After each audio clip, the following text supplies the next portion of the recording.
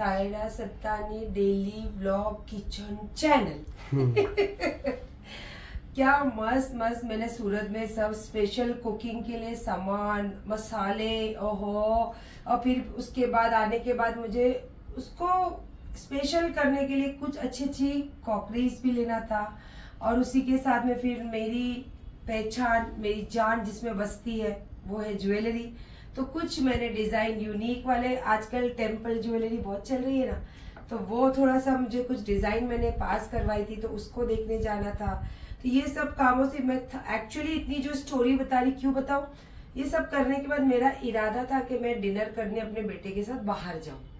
लेकिन जैसे कि मेरे, जो मैं जिनके साथ काम करती हूँ, मेरे पार्टनर जो है, वो है महाराष्ट्र और मुझे जो इज़्ज़त रिस्पेक्ट दी है पूरे अखिल महाराष्ट्र का वाइस प्रेसिडेंट बनाया है यूनियन की वाइस प्रेसिडेंट महिलाओं की खास करके तो वो भी भाई जो है, वो भी है महाराष्ट्र तो अब मैं इनके साथ जब मिलती हूँ ना तो मोस्ट ऑफ़ मटन की बातें होते रहती क्योंकि मैं हूँ मुस्लिम और हमारे घर में और मुस्लिम खानों की तो सारी दुनिया तारीफ़ कर दी कि मटन की वैरायटी उनसे ज़्यादा कोई बना नहीं सकता है, बहुत वैरायटी बनती है। तो बस बातें चलते रहती तो आज का स्पेशल जो बनाने का, खाने का रीजन ये है, क्योंकि मेरे को खाना था बाहर। तो मेरे कुछ दोस्त है, महाराष्ट्रियन है। तो उनको मेरे हाथ की कुछ कुछ चीज़ें जो है मटन स्पेशल बहुत पसंद है। तो मुझे उन्होंने बोला, क्या बना रही अभी तो तेरा रमज़ान आएगा, फिर तू बिज़ी हो जाएगी, ये, वो, यूँ, तू। तो मैंने बोला, नहीं यार, कुछ बनाना तो मन नहीं हो रहा। तो बोले, चल तू बना, हम लोग थोड़ा सा कुछ लेकर आते मस्त शाम को डिनर के साथ टाइम पास करते तो दोस्तों के साथ टाइम पास करना किसको नहीं पसंद है? मुझे भी पसंद है। तो मैंने बोला चलो ठीक है मैं एक ही बनाऊँगी एक ही आइटम बनाऊँगी और चपाती बनाऊँगी राइस वाइस मैं नहीं बनाने वाली तो बोले चलेगा चलेगा तू सिर्फ़ मटन बना दे। हम्म। तो मैं आज बनाने वाली हूँ मेरे दोस्तों के लिए खास पठानी चाप मसाला। अब नाम में कितना वज़न लग रहा होगा आपको? पठानी चाप मसाला। अब पठानी चाप मसाला मतलब टुकड़े मस्त एकदम भरे हुए। और चाप में तो जैसे कि आपको पता है कि यहाँ पे जो है ना मटन एकदम फुल रहता है, पर चाप के जो लास्ट के पीसेस रहते हैं ना तो दोनों तरफ़ उसमें मटन फुल भरा हुआ रहता है। उसको भी चाप ही बोला जाता है, लेकिन मोस्ट ऑफ़ क्या करते हैं, हम स्टिक वाला चाप लेते हैं तो उसको कहते हैं चाप। लेकिन चाप के आगे का हिस्सा जो होता है फुल मटन से भरा हुआ रहता है। तो उसका पीस लेके कभी आप बनाओगे ना तो फुल मटन भरा हुआ चाप रहता है वो। तो ये, जैसे मैं घर में बनाती हूँ ना तो मेरे दोस्तों के घर भी टिफ़िन जाती है और मेरे पसंद की चीज़ जब वहाँ बनती तो टिफ़िन यहाँ भी आती है। तो आज मेरे दोस्तों के लिए खास बनाई, बना रही हूँ मैं पठानी चाप मसाला। तो आइए आपको बताती हूँ कि थोड़ा सा इसमें तैयारी अलग करनी रहती है। बाकी मसाले हमारे घर के रहते हैं। तरीका सायरा सत्तानी का रहता है। देखने वाले आप हो और फिर आप बना के अपनी फैमिली को खिलाते हो। अब जैसे आपको यहाँ पे बड़े बड़े टमेटो के पीस दिख रहे हैं एक्चुअली मुझे इसे कट करना है। पर आपको बताना था कि इसकी जो तैयारी है, कैसी करनी रहती है। टमेटो जो है, इसके जो छिलके हैं, ये छिलके हमें पूरे उतार लेना रहना। इसके अंदर छिलका नहीं रखना रहता है। तो इसीलिए मैंने सारे जो टमेटो, जितना आपको पसंद है, उतना आप ले सकते हो। तो इसको मैंने छिलका पूरा इसका छील लिया है। अब इसको मैं लंबे लंबे, पतले पतले कट करने वाली हूँ। और उसी के साथ में यहाँ पे, जैसे मैंने आपको बताया, चाप आप पीछे के भी ले सकते हो। और अगर आगे की तरफ़ लोगे तो उसमें आपको मटन थोड़ा ज़्यादा मिलेगा। तो ये लिया है मैंने अखे वाले चाप और उसके साथ में यहाँ पे मैंने दो प्याज जो है लंबे पतले पतले कट करके लियो और एक बाउल भर के मैंने हरा धनिया कट करके लियो और इसमें यहाँ पे मैंने रखा है दही। दही जितनी हमें लगेगी उतनी यूज़ करना है। ये पूरा हमें यूज़ नहीं करना है। और उसी के साथ में जैसे कि यहाँ पे आपको दिख रहे हैं ड्राई मसाले और थोड़े से गीले मसाले और ना टेस्ट के हिसाब से ग्रीन चिल्ली और नमक। तो चलिए मैं आपको एक एक करके सारे मसाले भी बता देती हूँ। फ़र्स्ट हल्दी पाउडर घर का बना हुआ गरम मसाला, धनिया पाउडर लाल मिर्च पाउडर ये कलर वाला है, कश्मीरी लाल मिर्च पाउडर अदरक, लहसुन का पेस्ट और ये तीखा वाला, जो तीखा, तीखापन देता है, वो लाल मिर्च पाउडर है। और ग्रीन चिल्ली जो है, वो अगेन आपको जितना टेस्ट पसंद है, आप उतना ले सकते हो। हरी मिर्च टेस्ट के हिसाब से नमक और यहाँ पे जैसे लौंग, दालचीनी, इलायची और काली मिरी, इसको मैंने लिया है खड़े और थोड़े से दो तेज पत्ते तो इतने मसाले इसके साथ में लगने वाला तेल और सबसे पहला इसका जो प्रोसेस रहता है, क्या रहता है, वो मैं आपको बता देती हूँ। सबसे पहले तो हमें लेना है एक कुकर और पहले ही हमने मटन को अच्छे से धो के रख लिए हैं। तो मटन आप इसमें ले लीजिए। सब मटन पूरा इसके कुकर में ले लीजिए। अब सारा मटन आपने यहाँ पे ले लिया कुकर में। उसी के साथ में जो लंबी कटी हुई प्याज है, वो ले लीजिए। आधा। आधा हमें बगाड़ने के लिए लगेगी। और इसके साथ में नमक। नमक मसाला भूनते समय भी लगने वाला है। और इसके साथ में थोड़ी सी हल्दी।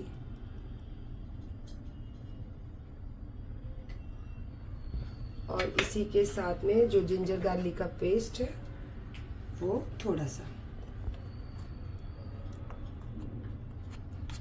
आप आप उसको सीधा गैस पे रख दीजिए। इसका जब पानी छूटने लगेगा तो उसी पानी में इसको हमें अच्छे से भून के, फिर इसको अच्छा नरम होने तक बॉईल करना है।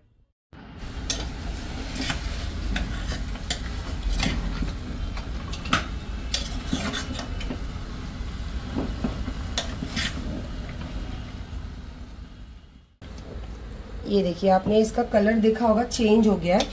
तो जो मैंने मसाले डाली थी, वो मसालों में अच्छे से इसको भूनी और जितना मुझे ये गलाने के लिए पानी चाहिए, उतना मैंने इसमें डाल दी पानी। अब इसको चार से पाँच सीटी हमें गला लेना है। चाप का जो मटन है, वो नरम हो जाना चाहिए। एकदम नहीं, लेकिन थोड़ा सा सॉफ्ट होना ज़रूरी है तो सॉफ्ट हो जाना चाहिए। ये अच्छा खासा हो गया है बॉईल और जैसे कि इसमें थोड़ा सा पानी आपको दिख रहा होगा तो ये हमें जब ग्रेवी बनानी है तो ये पानी यूज़ होता है। इसमें से कोई भी चीज़ वेस्ट नहीं होती है। फ़र्स्ट स्टेप होता है कि सारे मसालों के साथ में चाप को अच्छे से हमें उबाल कर लेना है। और दूसरा स्टेप ये होता है कि चाप को ऐसे कोई चिमटा की मदद से या फिर कोई भी आप जिसे कंफर्टेबल हो, ऐसे इसको झटक के जिस मसाले में आप ग्रेवी बनाने वाले हो, वही ऑयल में सबसे पहला हमें चाप को फ्राई करने छोड़ना रहता है इसे।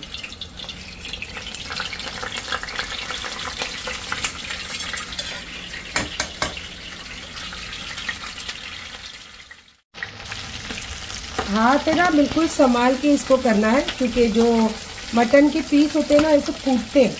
तो वो तेल झट से उड़ता हाथों पे, मुँह पे तो बहुत संभाल के आप इसको करना रहता है। ये इस तरीके से थोड़े से हमें इसको रोस्ट कर लेना रहता है। हल्के हल्के ब्राउन कलर के। जैसे ये देखिए देखिए देखिए। बहुत केयरफुली इसको करना रहता है। तो एक तरफ़ से तो ये हो गए।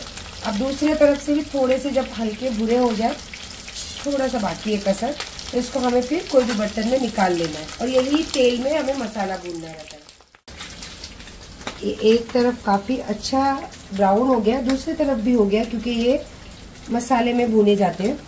और आ, सिर्फ़ जो मैंने बॉईल करने रखी थी ना मसाला वही मसाले का टेस्ट रहेगा इसमें। इसमें ऊपर से कोई भी चीज़ लगाना नहीं है। जब आप मटन फ्राई करते हो ना तो कोई भी मसाले का टुकड़ा हो या कुछ भी चीज़ इसमें जब रह जाए और वो काला पड़ जाए तो उसको पहले निकाल लीजिए। वो बिल्कुल टेस्ट इसमें रहना नहीं चाहिए। तो ये मैंने निकाल लिए सारी चीज़ें। तो जो आधी प्याज मैंने रखी थी वो इसमें डालनी है।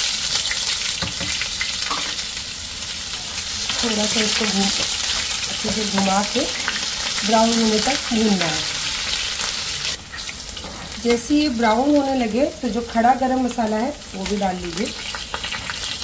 और इसी के साथ भून लीजिए। तुरंत ही तुरंत हमें जिंजर गार्लिक का जो पेस्ट है, वो डालना है।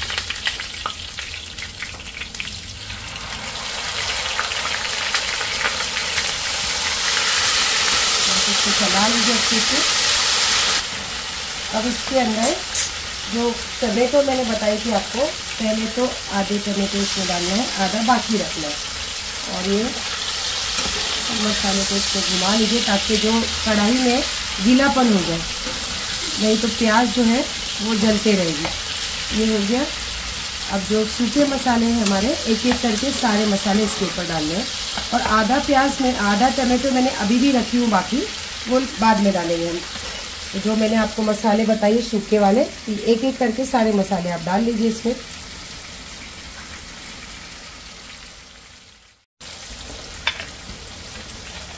लास्ट में गरम मसाला। और चम्मच से इसको सबको मिक्स कीजिए। अब जो आधे टमाटर हमने बचा के रखे हैं, उसको भी इसमें डालना है। टमाटो जो है, वो बिल्कुल सॉफ्ट होना है। तो सारे मसाले और टमाटो साथ में ही हमें भूनना रहता है। अब इसमें डालना है हमें दही। दही इसमें और एक चम्मच जाएगी। पहले इसको सब जगह पे फैला लो। मटन उबालने के टाइम भी हमने डाला था नमक और अभी भी हमें थोड़ा सा नमक डालना है। और इसको अच्छे से भून लीजिए। दही डालने के साथ ये देखिए, इसकी जो तरी है कितनी अच्छी छूटने लगी है। अब इसमें जो पानी लगने वाला है भूनने के लिए तो जो मटन का उबाला हुआ पानी बचा है ना, वो थोड़ा थोड़ा डाल के हमें मसाले को एकदम, ये जो टमेटो है, एकदम सॉफ्ट और मसाले में एकदम लटपट हो जाने चाहिए। ऐसे मुँह में खाने के टाइम डिस्टर्ब नहीं होना चाहिए। वैसे वहाँ तक हम इसको भूनते रहना चाहिए।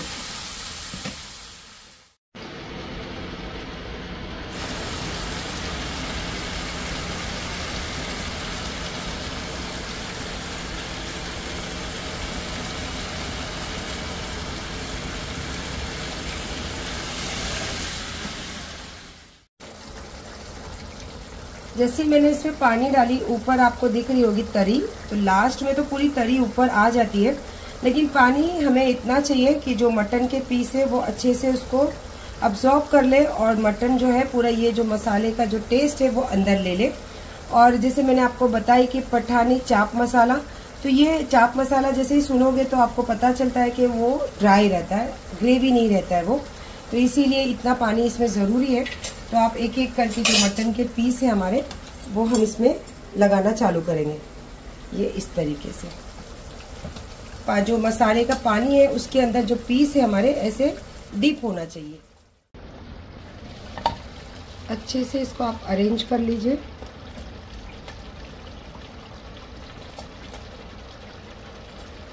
और जो हरा धनिया है, जो ये जो हरा धनिया आधा इस पर डाल लीजिए और आधा लास्ट में डालने के लिए बचा के रख लीजिए। और जैसे कि मैंने बताया कि ये जो मसाले के अंदर पूरी चाप जो है डीप होनी चाहिए। और ये फास्ट आँच पे नहीं बनती है। ये बनती है स्लो आँच पे दम की तरह। तो लगा लीजिए ढक्कन और कर लीजिए आँच को स्लो और दम की तरह इसको 10 मिनट छोड़ दीजिए। स्लो आँच पे दम की तरह जो हमने छोड़े थे तो अब आ आगे इसकी चेक करने की बारी। हम्म, ऐसे थिक होना चाहिए मसाला। और ये देखिए चाप जो है अच्छे मसाला पूरा पी लिए पूरा गीले हो गए चाप। जो पानी था मसालों का वो भी हो गया कम। चारों तरफ़ तरी जो है वो तो छूट गई है। तो बस अब इसको उतारने की बारी है। तो बाकी जो हरा धनिया हमने रखे थे वो इसके ऊपर छिड़कना है और ढक्कन लगा के इसको उतार देना है और इसके साथ में मैं बनाने वाली हूँ फुलके तो फिर मैं बनाऊँगी फुलके ऐसे ऐसे आप लगा लीजिए ढक्कन हरा धनिया और इसको लगा दीजिए ढक्कन, ताकि जो स्टीम है इसके अंदर रहे और फिर जो आपको पराठे या फिर फुलके या फिर राइस जो पसंद है, उसकी तैयारी कर लीजिए।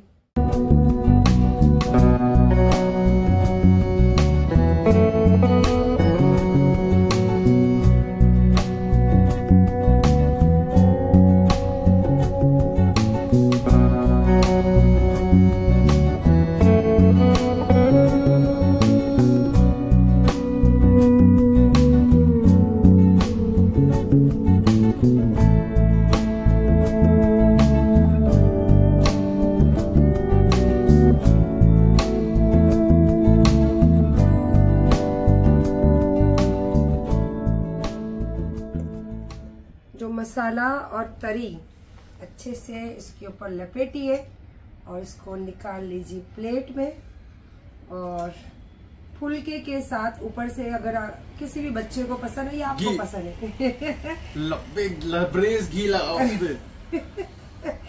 और ऐसा एक बाइट लीजिए बिस्मिल्लाह बोलकर तोड़िए और एक मस्त चाप की बोटी लीजिए और उसका मटन लीजिए। ऐसे मसालो मसाले में डुबो के जान दो। अपने बच्चों को ही खिलाइए। बिस्मिल्लाह। हम्म। हम्म।